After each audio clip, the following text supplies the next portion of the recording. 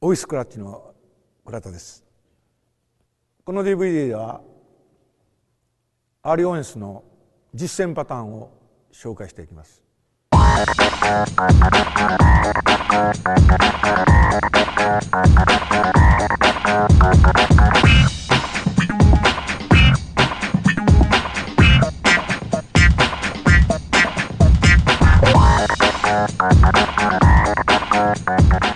フィードバックさせる5対5をイメージさせてフィードバックするにしても5人の協力したアーリーオフェンスパターンが必要になってきます。非常にシンプルであるが5つのパターンを提案したいと思います。これには今まで積み重ねてきてそしてかつ説明したことが全て網羅されています。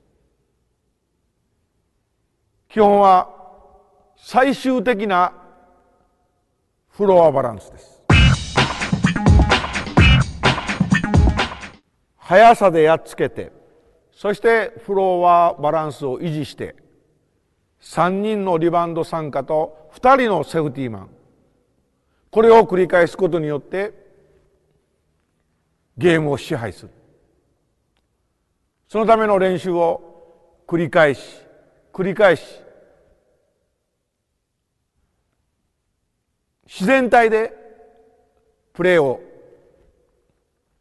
成立させるまでやる必要があると思います。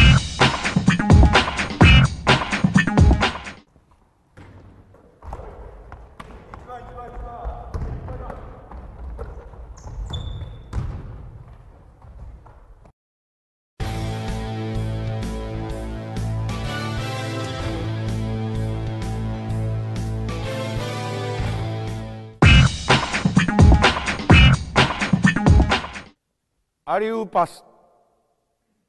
皆さんはすぐダンクシュートをイメージされますがアリウープパスというのは対角線上に送り出すという意味のパスです。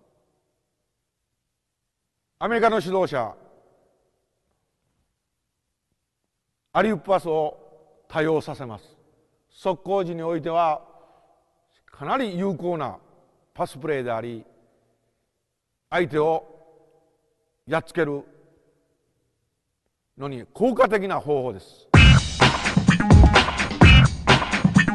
体型であるにもかかわらずプレーには先ほど紹介しました1番である要素2番である要素そして3番。積み重ねていった結果こうなるんですよ。選択肢。ガードが選択するチームが選択する。1番がダメなら2番。2番がダメばなダメならば3番という連続性を求めています。どれを選択するかはチームの感性です。やってみてください。1番のプレー2番のプレーそして3番のプレーリバウンドポジションセーフティーセーフティーです。ルーズボールを意識しながらそしてそれを早くパスすることによって高い確率のシュートに結びつける。さらにそれをパターン化してアーリアオフェンスを